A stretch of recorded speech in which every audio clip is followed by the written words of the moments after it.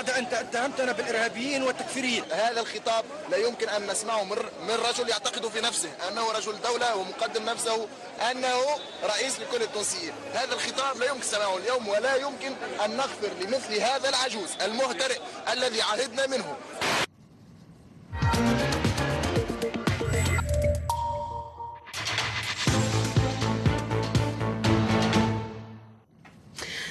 أهلا بكم دائما على قناة فرانس 24 موعدكم الآن مع النقاش المغاربي هذا الموعد الأسبوعي الذي نتوقف فيه بالتحليل عند أبرز الملفات المغاربيه اليوم سنتوقف في الجزائر مع مراجعة الدستور وفي تونس مع نتائج الجولة الأولى من الانتخابات الرئيس الرئاسية وفي ليبيا نتوقف عند التدهور المستمر في الأوضاع الأمنية ومخاطر تقسيم البلاد.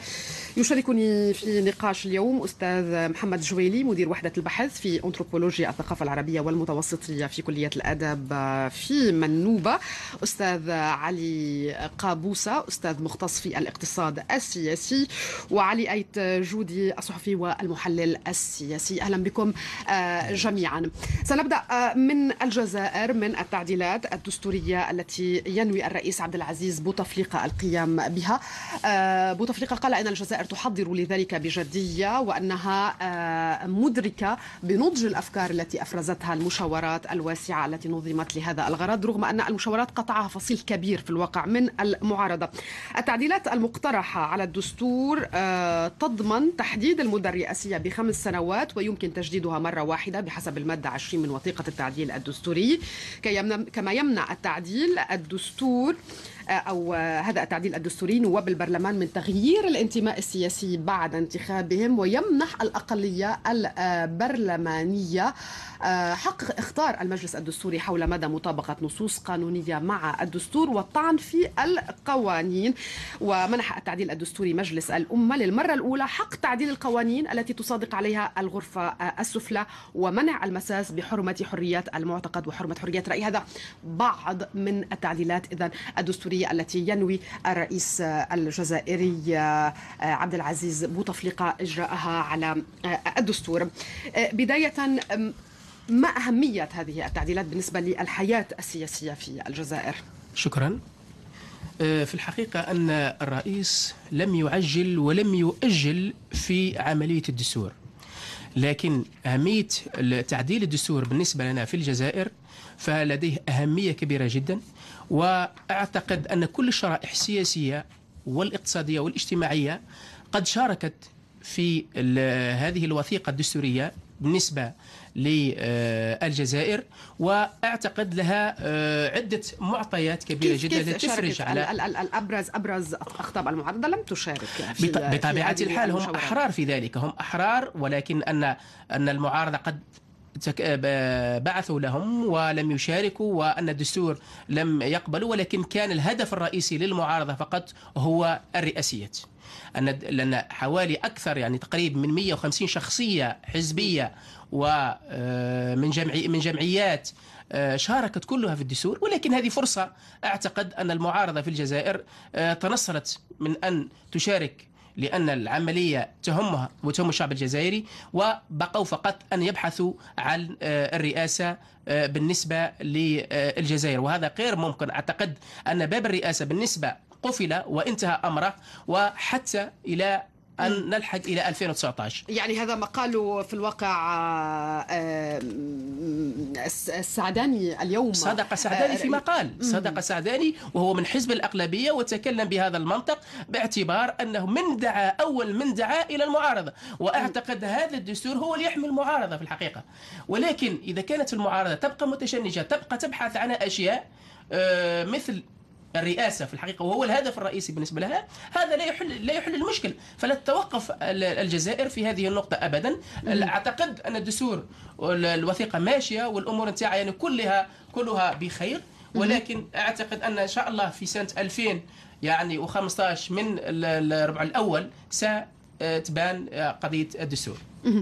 محقة المعارضة الجزائرية آه، في مقاطعة مشاورات تعديل الدستور آه، آه، أستاذ علي يقول أنه أصلا التعديلات تصب في مصلحة المعارضة.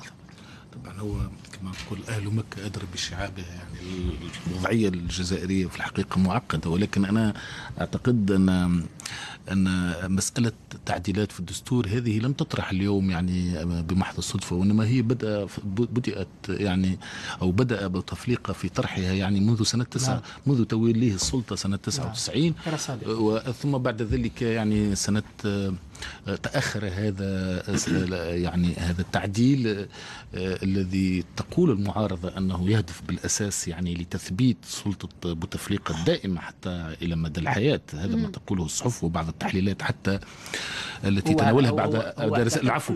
يعني يعني فاعتقد أن كان الرئيس كان للتشاور نعم. ولفتح المجال. كان فخامه الرئيس. يعني يريد إشراك يعني هو مجموعة هو كبيرة هو على حد علمي. من, من الشخصيات الكبيرة في البلاد ومن الجمعيات من أجل ترسيخ الفكرة العامة. ومن أجل هذا أن يعالج هذا الأمر بالنسبة لقضية الدستور. لا فقط أنا أردت أن تنتهي أنه أجرى تعديل في البداية يعني في بداية الألفية يعني الثالثة. بدأ في في إثبات اللغة الأمازيغية نعم. باعتبارها لغة أساسية في البلاد. صحيح. وكان هذا وكان هذا مهم جدا بالنسبة نعم. للجزائر يعني في ثم بعد ذلك يعني وقع التراخي نسبيا في هذا هو في أكتوبر على أعتقد 29 أكتوبر 2006 كان خطاب شهير البوتفليقة الذي يبرر فيه سبب يعني الذي لم يجعل يجعله أو لم يجعل الدولة في الجزائر فقضية هذا الصيرورة هذه والمسألة بتاع قضية الدستور والواحد هذه قضية عندها تقريبا 15 سنة وأخرت بسبب آه، آه، العشرية وبسبب وبسبب الوفاق الوطني وإعادة المسألة. في نفس نعم في نفس النطاق. أكيد يعني ليس لنا نفس القراءة للأحداث. فتاريخ الدستور الجزائري يعني مليء آه، بتعدي و وضعه في داخل داخل الثلاجة. كلما كلما كان في صالح الشعب الجزائري. فأول آه، دستور للجزائر فحين كان أعضاء المجلس التأسيسي سنة 63 يناقشون الدستور الجديد آه، آه، اتخذ حزب الأفلان شلة بن بلة وانتخب على الدستور الجديد خارج البرلمان في السينما مسماة بالماجستيك فهذا ما أدى إلى هذا هذا وضع قديم على هذا ما أدى نفس لم تكن هكذا الأفلام. استمعت إليك استمع الي لم تكن هكذا الافلام نفس الأحداث. لنستمع إلى وجهة نظر نفس الأحداث. يعني فقدم الاستقالة المرحوم فرحات عباس لتسير الجزائر من طرف النظام الواحد في بدستور اشتراكي توجهي وثم بعد ذلك نفس الأشخاص الذين طب جيد اليوم اليوم اليوم الرجل يقول لكم اليوم الرجل يقول أنا مستعد لإجراء نعم. تعديلات نعم. أن قد تغير طبيعة نعم. ربما الحياة السياسية نفس في النظام الذي يحكم الجزائر منذ سنة 62 لغاية اليوم هو الذي يقترح الدساتير وهو الذي يدوس على هو الجزائر فبوتفليقة هو الذي عدل الدستور الدستور سنة 66 الرجاء يجب أن نعم يجب أن نقول شيئا في سنة 96 الدستور الذي انتخب عليه الشعب الجزائري عبر استفتاء آه، عبر استفتاء وانتخاب الشعب عدله بوتفليقة عبر استفتاء عبر انتخاب برلماني.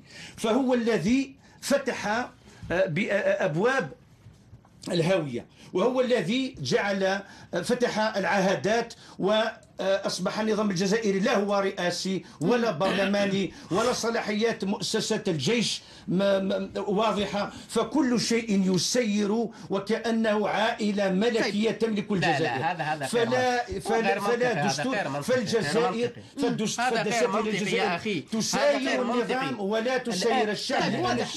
ليس له أدوات للدفاع عن هذا الدستور. فكلما كان الدستور في آه، ضد النظام كلما استعمله وضعه النظام داخل الثلاجة وخلق طيب دستور الآن جديد. الآن الآن يعني ما الذي يمكن لبوتفليقة أن يفعله سوى تعديلات دستورية لكي آه، يعني على الأقل آه، يعني لكي يخفض صوت المعارضة قليلا. لقد فتح العهدات حين كان بصحة جيدة. و... ثم اليوم أصبح مشلولا ومؤسسات الدولة مشلولة. أراد أن يرجعها كما كانت. هناك الجزائر دولة المؤسسات لا لا لا الجزائر دولة المؤسسات فلا الجزائر دولة المؤسسات أي ولها مؤسسات قائمة ناتجة عن التزوير؟ أن الرئيس يقوم ناتجة عن المخابرات والمؤسسات الأخرى لحظة هيك هيك ما حنفهم شيء لو سمحتم لو سمحتم. لأن الرئيس أستاذ علي قابوسة يحق للمعارضة أن تقول يعني إنه إنه أربع فتح فتح عهد فتح عهد فتح عهد العهودات شوفي أسمع في الحقيقة الآن الدستور الجديد نحن لا نحكي على الماضي. نحكوا الآن. الآن الوضع نتاعنا الآن. لو سمحت الوضع لو سمحت لو سمحت. فخامة الرئيس. اليوم. ان ان تعديل حوالي 47 مادة معدلة الآن فيها يعني تعديل واسع وجوهري. يعني طب اعطي اعطي أعطي الأستاذ علي آية جودي. مادة ستطمئن المعارضة وتقول بأن الانتخابات الرئاسية المقبلة تعددية وحرة ونزيهة وديمقراطية. بطبيعة هذه المادة. بناء على التعديلات الدستورية التي يتم العمل عليها. لا لا, ف... ف... لا أخبرنا ما هي المادة وماذا تنص وماذا تقول. أنا, أنا أقول لك كثير من المواد كثير من مواد الدستور. ل 47 مادة عدلت. الآن فيها حرية كاملة. لا أحد يعلم بها. إيه لا فيها حرية لا لا غير جاهزه إيه؟ ولم ولم تعلن. فهذه تنبؤات لك. لا لا لا لس... نعم هذه تنبؤات غير لا واقعية. طيب خلينا نسمع الأستاذ علي قبوسه ربما لديك ربما لديك تعرفي أن لحد الآن الجزائريون لا يعرفون المسوده أو الاقتراح الجديد. يعني لدينا فكرة فكره على الاحزاب هو هو تصريحات وثيقة الوثيقة طيب. عرضت الوثيقة عرضت عن الأحزاب. وكل الأحزاب اللي كانت يعني الأحزاب الجزائرية في حد ذاتها غير المعارضة الحقيقة وكل الأحزاب اعطت رايها في هذه في المواد الدستور. ومن يعني كل أين هي الأحزاب الغير المعارضة؟ باستثناء الأفلان والارندي لا لا لا, موجودين أحزاب لا. كلهم يعني هذه الصراحة. لا لا. كل الأحزاب الجزائرية في المعارضة. كل الشعب لا الجزائري لا في المعارضة. يعني هل يا ترى ان الأفلان الذي يملك الأغلبية؟ هو معارض. كل الجزائريون يعني كثيرا. البرلمان الحالي ناتج عن تزوير فاضح لا لا هذا فلهذا لا يمكننا أن نتحدث حاليا اعطيني الدليل انه زور أعطيني الدليل انه زور أعطيني الدليل يا أخي.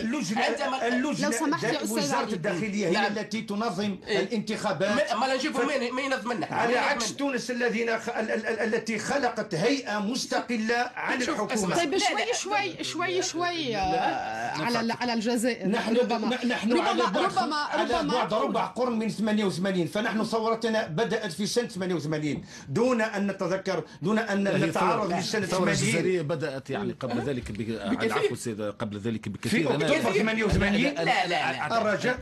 قبل هذا لا ثورة نحن لدينا ثورة عظيمة يا كريم في ربما أنك أنت لا تعرف التاريخ جيدا. لا لا أنا أدرى بتاريخ بلدي لا لا لا تعرفه. الرجاء الثوره الجزائريه بدات في 88 هذا خطأ. هذه الصراحه الثوره الديمقراطية والثورة الشعبية قامت في أكتوبر. 88 اين اين أين سمح في الدستور سنة 89 بإنشاء الأحزاب السياسية. وقبل أكتوبر 88 كان النظام طيب أنا مضطر أنا أنا مضطر سأتركك تجيب فقط عن هذا الجزء أستاذ علي قبوصه بعد التذكير بعناوين هذه بعناوين الأخبار لهذا المساء إذن. أهلا بكم مجددا إلى النقاش المغاربي أرحب بسرعة مرة جديدة بضيوفي محمد جويلي مدير وحدة البحث في أنثروبولوجيا الثقافة العربية والمتوسطية في كلية الادب بمنوبة علي قابوسه الأستاذ المختص في الاقتصاد السياسي وعلي أيد جودي الصحفي والمحلل السياسي.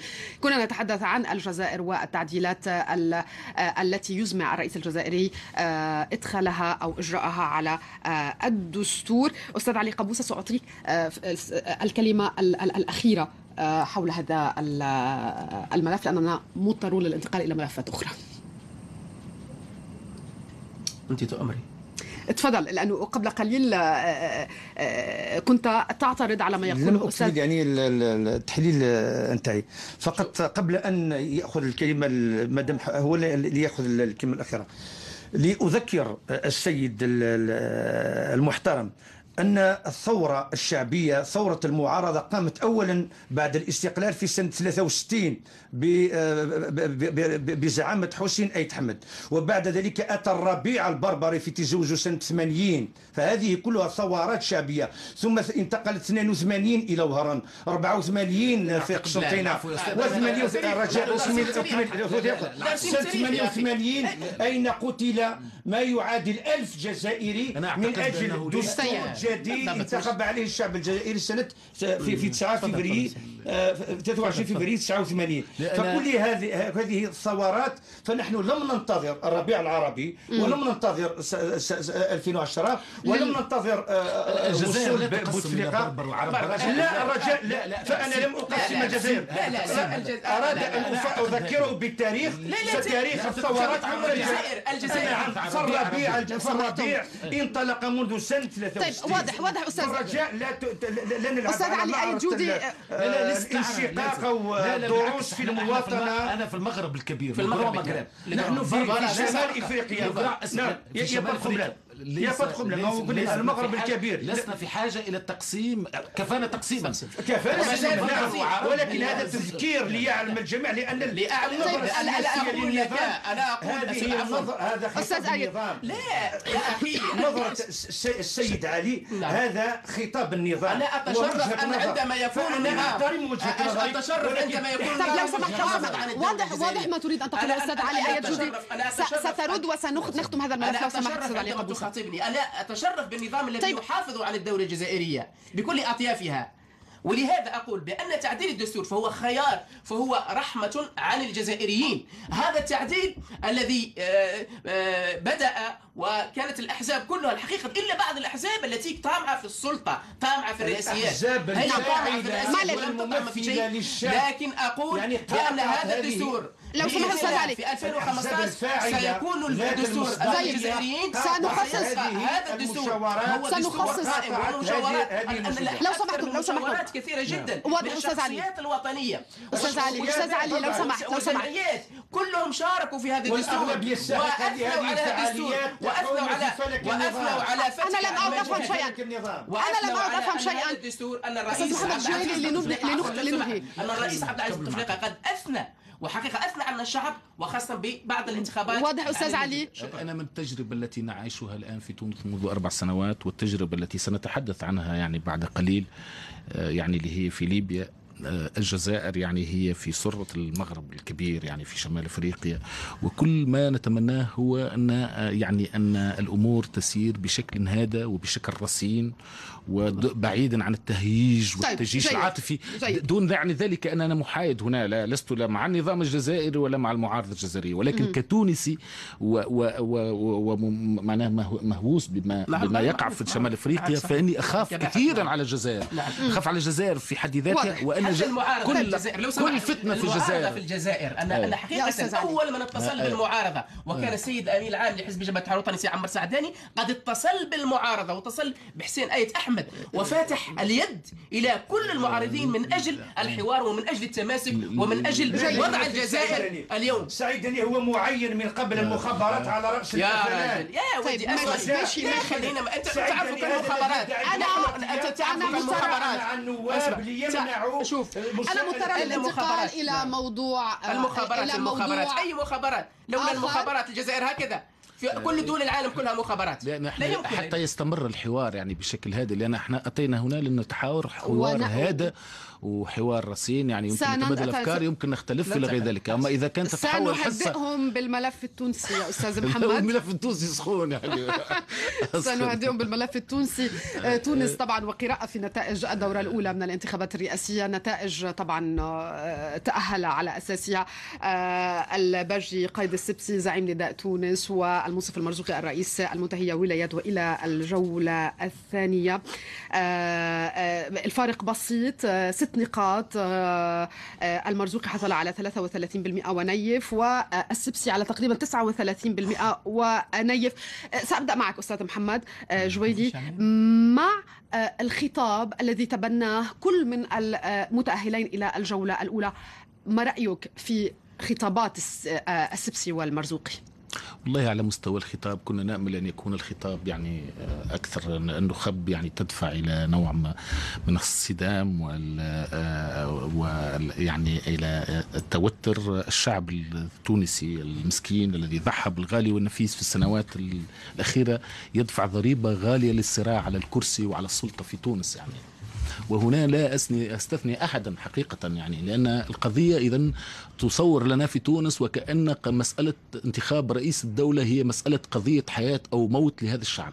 قضية انتخاب رئيس الدولة مسألة مهمة بالنسبة إلينا ولكن نحن انتخبنا مؤسسات أخرى. انتخب انتخبنا مؤسس برلمان فيه يعني آه، تقريبا كل الطيف السياسي ممثل فيه آه، الليبراليون الممثلون خاصة بنداء تونس يعني حازوا على النصيب الأوفر ثم بعد ذلك الإسلاميون لا خوف عليهم فهم حازوا على حوالي السبعين يعني مقعد في هذا في هذا البرلمان. اليسار كذلك ممثل يعني في الجبهة الشعبية. هناك برلمان قوي هناك دستور جديد يعني فنحن ورئيس الدولة لن يكون رئيس الدولة كبن علي أو كحتى بورقيبة يعني قبلها. رئيس الدولة سيكون مقيد وتحت أعين المؤسسات الرسمية إلى غير ذلك. ما هو هو خطاب التجيش هذا الذي لم نس حتى وصل إلى حد يعني قضية الشمال والجنوب والبلد يعني بلد صغير يعني.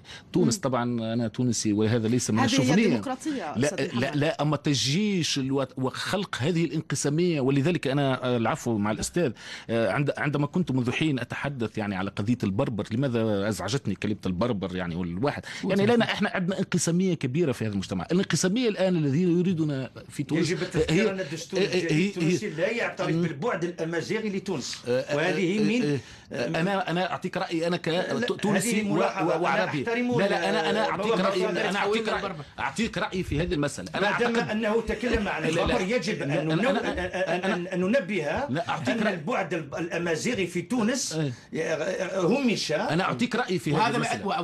عفوا. إحنا في الجزائر ما عندنا أي إشكالية. لا أعطيك رأيي. لحد اليوم اللغة الأمازيغية غير معترف بها لا معترف بها. نترك السيد كيف معترف بها. يا أخي مش معترف فيها؟ رسمية. فهي, فهي مدسترة كلغة وطنية فقط. وموجودة في المدارس. وغير انت أنت سألتني على الواحد خلينا نجاوبك. خلينا نهدي النقاش يعني بس يكون نقاش مثمر وعندنا مشاهدين يتفرجوا فينا خلينا نقدموا بنود تحب تعطي نعطيك رايي أنا على مسألة الامازيغيه أنا أعتبر أن اللغة الأمازيغية هي لغة أساسية. حتى ولو معترف بها في الدستور هي لغة وهي جزء من تراثنا الوطني وإهانة كبيرة جدا. أشكرك. يعني إهانة كبيرة جدا الآن وهذا ينبغي أن تكون لنا شجاعة. الآن اليونسكو هناك 6000 لغة يعني مهددة في العالم بالانقراض واليونسكو تدافع عن إحياء اللغات والحفاظ عليها. ونحن في شمال أفريقيا لم نفعل شيئا من أجل الحفاظ على هذه اللغة واحيائها إلى غير ذلك. وأعتقد أن هذه مهمة وطنية لكل المثقف كل المثقفين الذين يؤمنون بالتعددية. و... هذا فيما يتعلق جيد. اذا ما قلت لك هو هو ان اليوم أصبح القضية قضية جنوب شمال. ألو تونس صغيرة جدا جدا. أنا كنت احكي وأنا الأخ العام اللي فات وهذا مش للتحقير.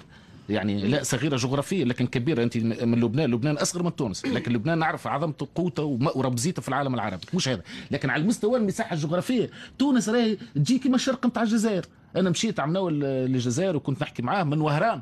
حتى الواحد عملنا 2500 كيلومتر. تونس طيب. من بنزرة البقردان 600 كيلومتر والآن يحبوا يخلقونا جنوب وشمال وشمال وضد الجنوب. مم. وهذه خط مسألة خط أحمر وقضية خطيرة جدا في البلاد وينبغي على كل المثقفين في, في تونس. لا أتحدث عن الأحزاب لأن لست منتمي إلى أحزاب أما كل مثقف الآن في تونس وكل وطني وكل إنسان يحب البلاد أن يتصدى يعني إلى هذه المسألة لأن هذه مؤامرة كبيرة جدا على هذه الديمقراطية الناشئة في تونس. نعم. بالنسبة فقط أنا قضية تونسية والآن حقيقة الآن الكفة بدأت بين سبسي أو البجبوج وبين ما بين المرزوقي. حقيقة في آه، أعتقد وتتذكرين يعني أني عندما كنت في أحد الحصص هنا قلت أن الشعب التونسي يراهن على نداء تونس. وتتذكري وكان أحد الإخوة من تونس قال لي غير ممكن. وراهن الحمد لله الشعب التونسي على نداء تونس واخذت تونس وأخذ النداء هذا لكن الآن المشكل في تونس أصبحنا خلال هذه المدة يتحول الأمر إلى عكس. الآن قبل كنا قابلين بالدستور قابلين بالصندوق. اليوم بعض الناس غير قابلة بالصندوق. وهذه مشكلة كبيرة جدا. الآن المرزوقي حسب مثل مين مين مين مين مش قابل بالصندوق؟ أليس مبكرا للقول أن هناك من لا يقبل قابل غير قابل وأنا متأكد. المرزوقي لاحظ حتى من خلال تصرفاته. ومن خلال في أشياء كثيرة جدا. تلاحظيه كيف أن هذا الفوز الذي اتخذه نداء تونس ويقول أن نداء تونس أنه متكون من من الدستوريين وإيش وإيش وإيش وإيش وهذه إشكالية الآن بدأوا يلعبون في تونس على الوتر الآخر الوتر الجنوب الجنوب الآن يدعم المرزوقي لسه صحيح عفوا عفوا لا لا لا لا لا لا لا عفوا لا لكن لا لا لا لا هذه مشكلة فيها نعرات الناس الذين يريدون هو هو وتر يقلبون الأوضاع. هو وتر طبقي بالضبط وتر وهذا يلعبوا عليه الوتر الشمال, الشمال التونسي أفقر من الجنوب.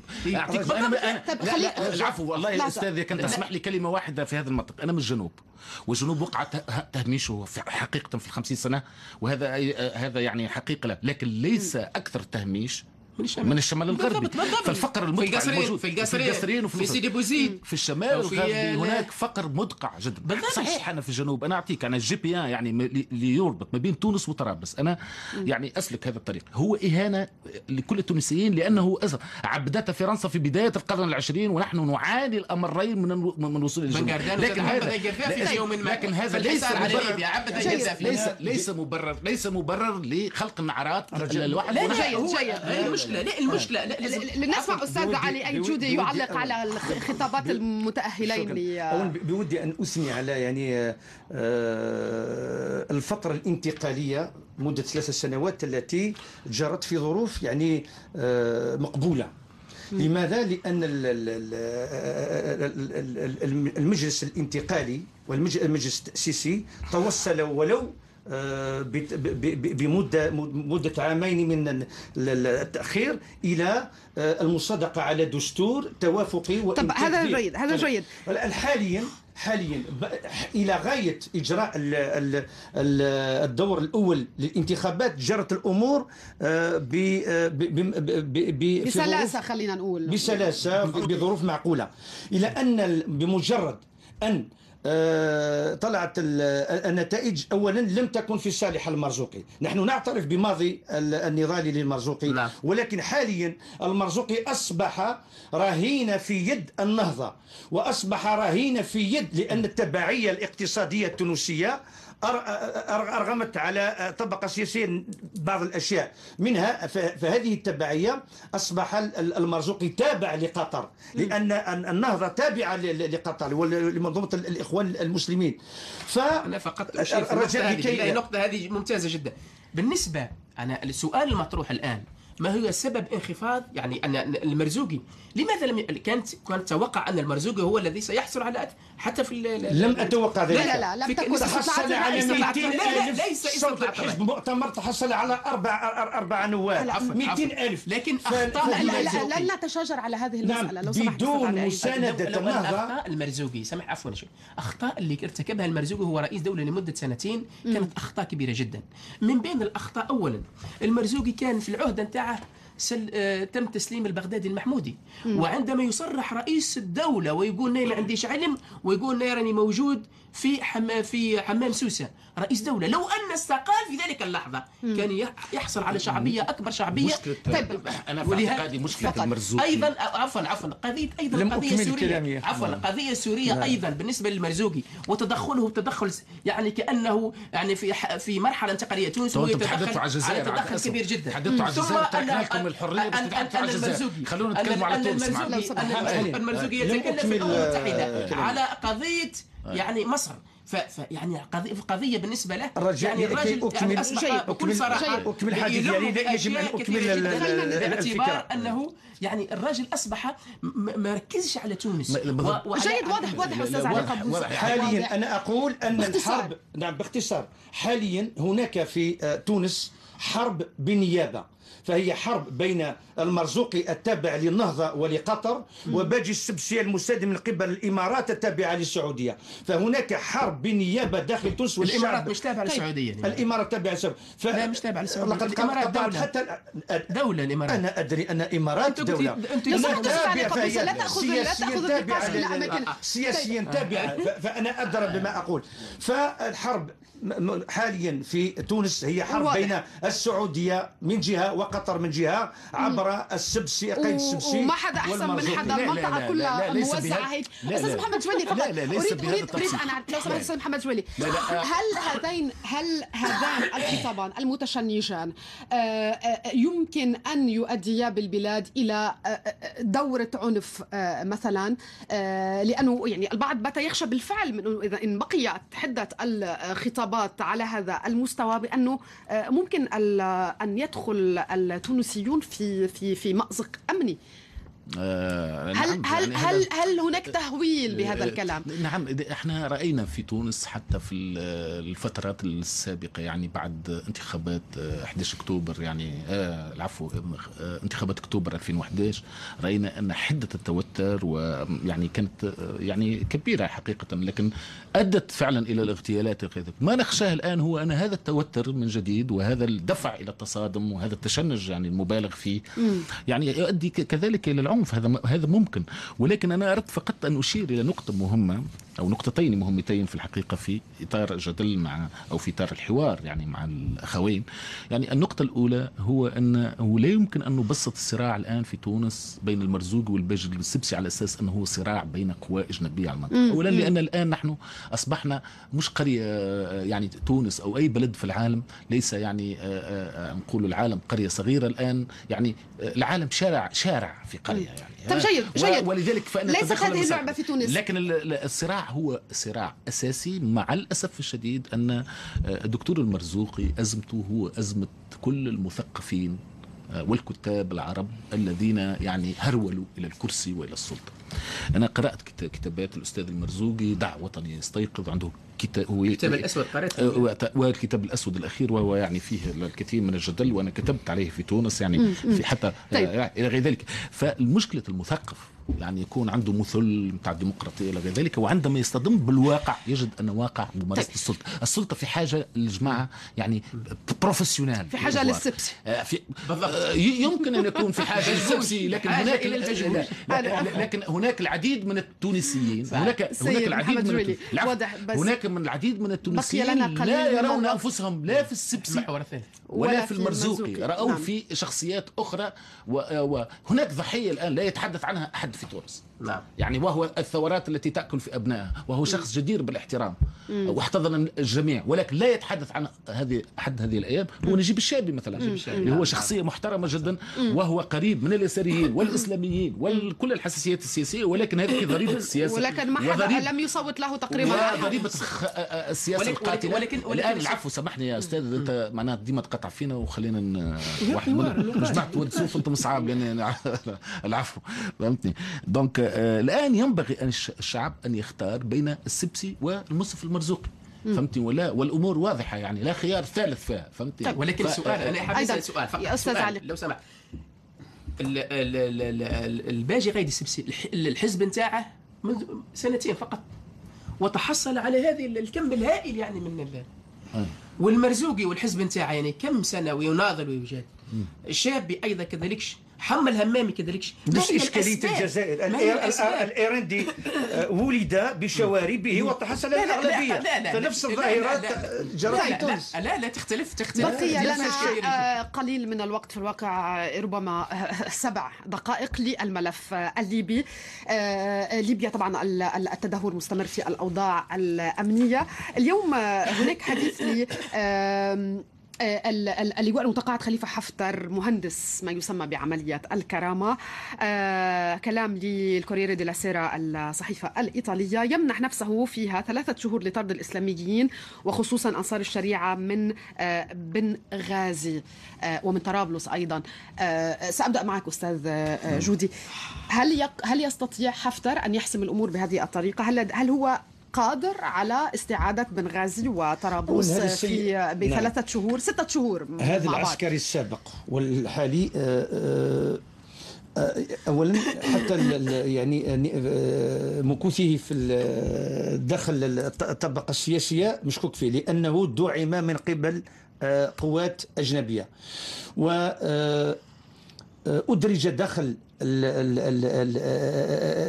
الحقل السياسي في ليبيا لكي يشتت لكي يشتت القوى الحية في ليبيا. وحاليا نجح في آه، إقحام ليبيا داخل دوامة من العنف. لا أحد يمكن أن يخرجها. طيب جيد. هل يستطيع بعد أن أقحم ليبيا كما تقول في هذه الدوامة من العنف هل لديه من المقومات من ال ال ال ما يلزم ليربح معركة من هذا النوع؟ بدون دعم الجزائر لو. ودي ودي بدون دعم. الجزائر وبدون دعم مصر الجزائر يا أخي تتدخل في الجزائر خلينا وبدون دعم مصر لا.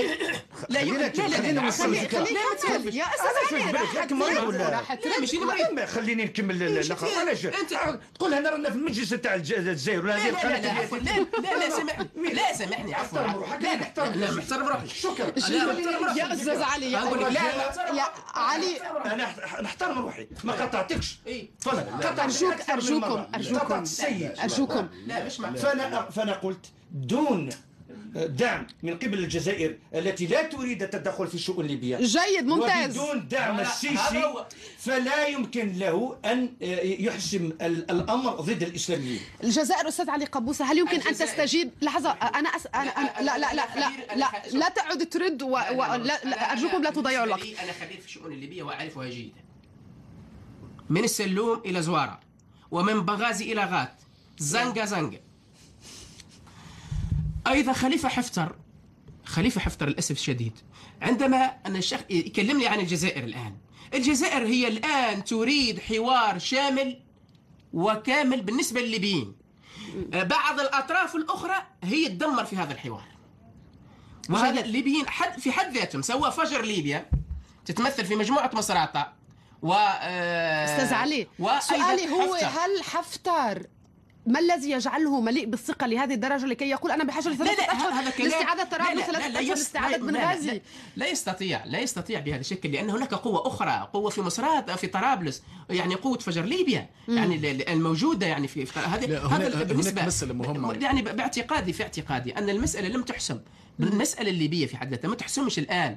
ما زال إلا يحسمها فقط الحوار الكامل بالنسبة لابد هناك أطراف وقلت وقلتها مرارا هناك أطراف بالنسبة لخليفة حفتر وهناك أطراف بالنسبة لفجر ليبيا. هذه الأطراف الخارجية عليها أن تضغط على هذه الأطراف لكي تخضعها للحوار الذي تدعى إليه الجزائر. لكي أن البلد الآن لاحظوا أن البلد راح راح إلى التقسيم. ماذا يريد خليفة حفتر يريد برقة. ويقول نحسم ليبيا لا, لا يستطيع أن يحسم الأمر بليبيا.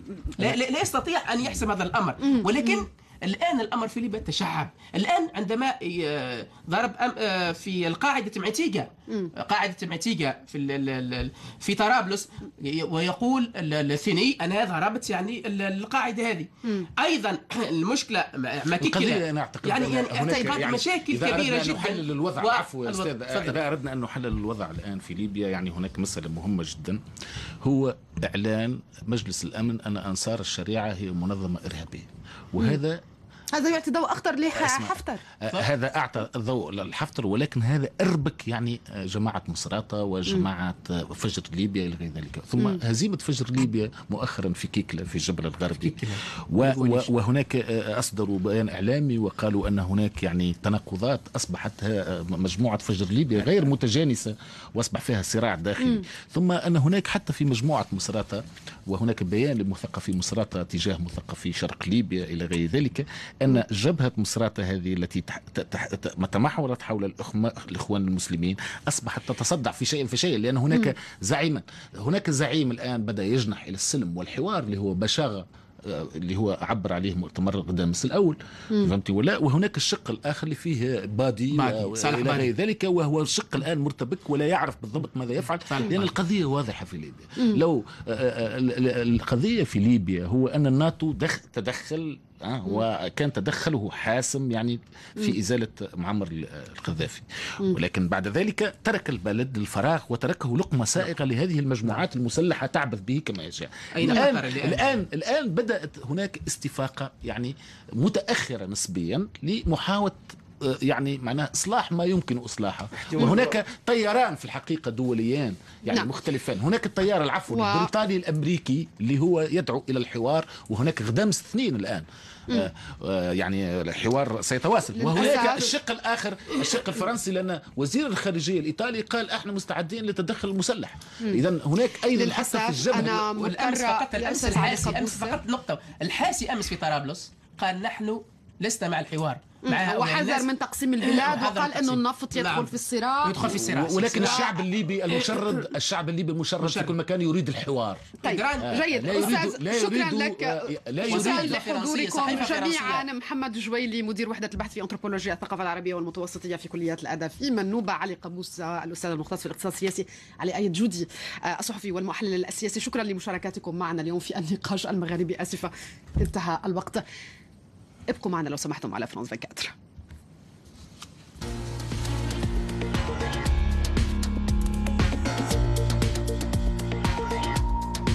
الحدث من فرانس 24 إنهم من أفضل